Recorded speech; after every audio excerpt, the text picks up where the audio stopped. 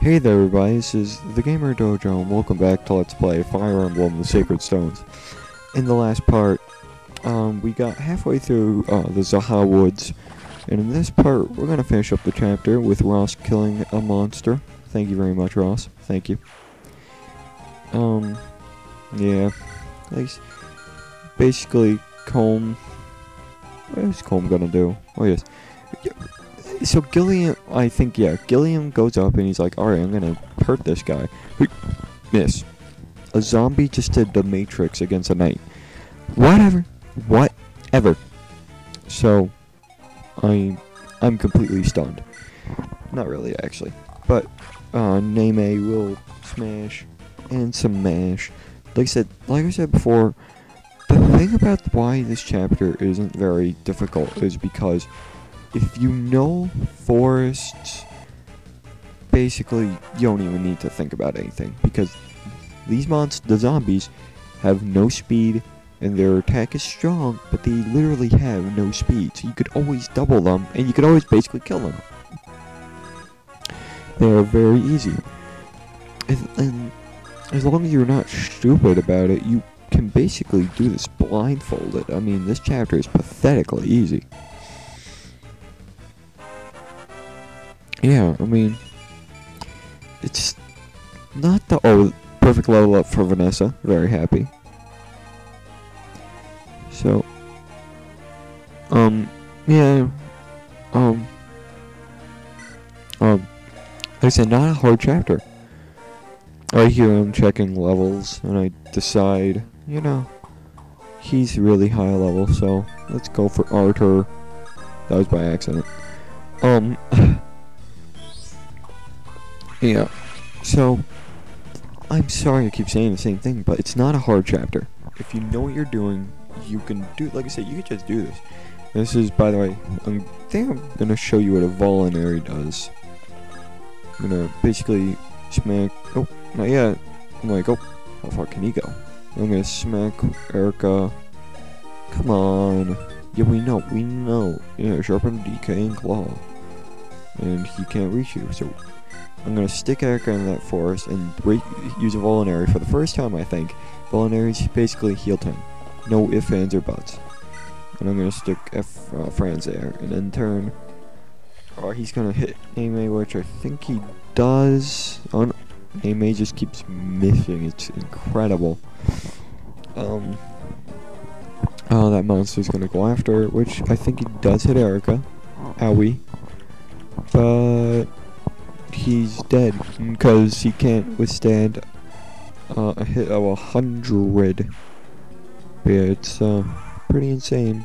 I tell you what. Right now, I'm gonna finally get this person. Hmm. Petrifica petrifaction. Why would you be a revenant? Why are you just? Why are you draw? Oh, this is Lute. Mage of Mage Superior and she read about these remnants, revenant, revenants in chapter 2, section 7, paragraph 8. Hmm. But yeah, basically, now I'm going to tell you finally about the. Oh, crap. Yeah, I'm finally going to tell you about the ma the magic triangle. The magic triangle consists of light magic, dark magic, and anima magic. Which is what Lute uses. Fire, thunder, ice. That's anima magic. The triangle goes light beats dark, dark beats anima, and anima beats light. It's weird, it's pretty difficult to figure out. I might have actually gotten it wrong, but I don't think I did. But I think that's it. Anima beats light, light beats dark, dark beats anima. It's not that hard to triangle to figure out. But, uh, Ross, he levels up. Level 8, oh, and that was a terrible level up. But his weapon level does increase, so it was kind of like a, like, eh, but then it was like, hmm, not bad level up. Um, yeah, um, this chapter is almost over. Even Lute dodges, which I was very impressed with. and she kills the monster. Monster attack. Um, actually, I'm gonna say this right now. The next chapter, I would say, is the first difficult chapter. Is the first chapter where I would say, if you don't know what you're doing, you you could get in a little trouble, because there's a unit there which I would recommend but to uh, recruit. And unfortunately, he's actually pretty difficult to recruit. He really, really is. Just, uh, just for the fact of he has one weapon, and you need to recruit him with one character, and it's like character with that against that weapon. It's just like, wow, that's uh, that's crap. Alright, you don't know, you probably don't know what I'm doing. What I'm doing here is I'm basically bringing Ross over to smash the, uh, this guy called an Entombed. Basically, the leveled up version of, uh, Revenant. Revenant. Not difficult at all. And right in here, I'm like, oh, well, the Iron Axe, maybe, you know, hmm, maybe I could double him. And luckily, I didn't do that, because I could not double him, actually you'll see in a second. I go, hey, uh, my that's a weight of 10 and my speed's 4. Yeah, I can't double, so I'm gonna stick with a hatchet, park him in the forest, which doesn't actually help, but I thought it might. Gonna bring reinforcements. He's gonna park himself not in the forest, luckily. And this is an, an increased called the Fetid Claw. Very difficult, uh, very good, but my strength is so good and because he's a zombie, I can double him. So it's kind of like, maybe I don't care actually. So I'm going to bring Moulder to heal for one of his final healings in the game. Thank you very much, Moulder.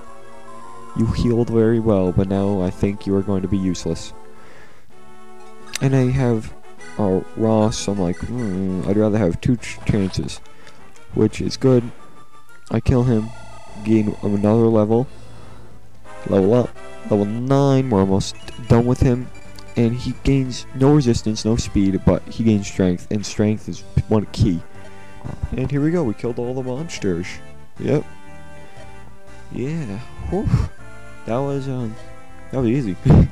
like you said, if you have trouble with that chapter, I'm sorry. The only, the only thing that would, was hard for me was that, uh, when I was younger, Lute would always die for me. I would always be angry because, you know, oh my gosh, what am I doing wrong that Lute just keeps dying on me? Well, let's just say I'm, I was crap. and I beat the game, so that's sad. I'm not looking forward to certain chapters. Oh, oh god, no. Ah, foul creatures. I L'Arachel. L'Arachel? Where are the monsters? Oh, well, we just finished them. Oh, let's rejoice. Why are you disappointed? I don't care. Oh, who the hell? Oh, th that guy out, by the way, is awesome, but we're not going to use him. Uh, who? Oh, please introduce myself. She's the true and light of the sacred of... What? No. We, you keep saying her name. Jeez. Stop. Mm. I'm pretty angry. Dozla and Rennick. I'll tell you right now. Dozla is that guy. And Rennick is that guy. Um, and here we go. The Empire's Reach. Um, so, and Za'ha Woods. We're gonna manage our weapons, which doesn't matter because we really don't have anything to manage. The only thing I did was I I don't yeah I do it now. I'm going to supply Arca with another sword to make sure she has an extra one, because that steel sword's going to break soon. And that's basically it, I think. Uh, yeah. Um, so, that's it, and we're going to save again, and we're going to go to Seraphim, finally, jeez. So, Oh man, zombies everywhere. Zombies. Uh, we're gonna let's journey to find some uh, people. Sure. All right. Okay. Let's run. The Empire's Reach. Like I said, like I said before, this is I would consider the. Oh no, there he is. That's him. That guy is gonna be your the bane of your existence. He really is. Because to recruit him is like, ugh, I don't know. He's just really difficult to recruit because you need to do certain things. You have to have every time I recruit him, you have to have one certain person go there and just have luck on your side. Yeah. And at the end, if I end, I can't wait because I finally get to show what I've been waiting for for a while.